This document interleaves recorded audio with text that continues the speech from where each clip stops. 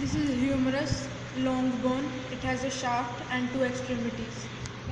It is of left hand side. इधर से ना बना इधर से बना दिख रही है एकदम साफ़ This is uh, proximal extremity. Proximal extremity has a has a head which is double the size of glenoid cavity. Two tuberosities. This is lateral tuberosity. This is medial tuberosity. Lateral tuberosity is larger inside, medial is smaller inside. Both the tuberosities are divided into two parts with the help of a groove. This is the cranial part is known as summit and caudal part is known as convexity. This is convexity and these are summits. Between the summits of two tuberosities, there is a groove present which is known as bicipital groove. This bicipital groove, it is bifid in case of force. Bifid in case of force. A prominent neck is present which attaches the head to the shaft of the bone. This is distal extremity. Distal extremity has two condyles, medial, uh, medial condyle which is larger in size and lateral condyle which is smaller in size. Both the condyles are separated by a ridge-like structure.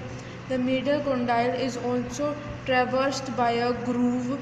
This groove opens into the olecranon fossa behind. This groove opens into olecranon fossa behind. This fossa is known as coronoid or radial fossa and the behind fossa is known as olecranon fossa where the olecranon process of ulna is lodged. The olecranon fossa's boundary is made by medial epicondyle and lateral epicondyle medial and lateral epicondyle this is shaft. Shaft is four sided roughly four sided it, this is the cranial surface.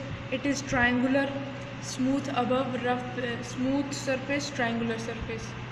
okay and this is the medial border. Medial border surface. Has, this is the medial surface. Medial surface has a teres tuberosity where teres major muscle is attached.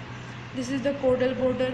It is continuous with the lateral border and it is smooth the this is lateral border. Lateral border is lateral surface. Lateral surface is marked by the musculospiral groove. This is musculospiral groove where brachialis muscle is lodged on musculospiral groove on the lateral surface there is tuberosity known as deltoideus tuberosity where deltoideus muscle is attached. Above the deltoideus tuberosity there are many lines like structure. These are tricipital lines where triceps muscle is attached close to the tricipital line there is a tubercle known as teres tubercle whereas teres minor muscle is attached. This हो गई? ये हौसली है। Horse पे main जो है कि bicipital group बायोफिड है। ये लेटरल ट्यूब्रोस्टी है ये मीडियल ट्यूब्रोस्टी है। दोनों को सेपरेट करने के लिए एडिशनल ट्यूब्रोस्टी प्रेजेंट है जो कि बाइसेपिटल ग्रुप को दो में डिवाइड कर रही है ठीक है? जो डेल्टोडियस ट्यूब्रोस्टी है वो वेरी मच प्रोमिनेंट है। ट्राइसिपिटल लाइन्स इल डिफाइंड है फेडेड है ट्राइसिपिटल लाइन्स ठीक है ये ग्रूव ये बाइसिपिटल ये मस्कुलर स्पायरल ग्रूव हो गया। ये टीरीज ट्यूब्रोस्टी भी अच्छी खासी वेल डिफाइंड है। और लिक्रोनल फोसा और और डिस्टल एक्सट्रीमिटी पे साइनोवियल फोसा प्रेजेंट है इन केस ऑफ़ फोर्स बस। हाँ डॉग की ह्यूमरस है ये सुपरा ट्रोक्लियर फोरामैन जो है जो कोरोनोड और ओलिक्रोनल फोसा को सेपरेट करता मतलब ज्वाइन करता है वो कैरेक्टरिस्टिक फीचर है डॉग का जिसमें ये है वो डॉग की है ठीक है? और डेल्टोइडियस ट्यूब्रोस्टी रिज लाइक है।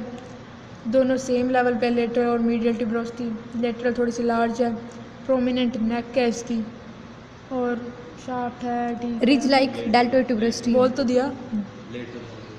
बस इसमें यही फीचर है। नोट डिवाइडेड है दोनों सेम लेवल पे ठीक है। पिग में जो ये है सुपरा ट्रोक्लियर फोरामेन ये ट्रांसलूसेंट होगा। मींस बिल्कुल सेपरेट तो नहीं करेगा ऐसे बट थोड़ा थोड़ा फिर भी डीप होगा। ठीक है?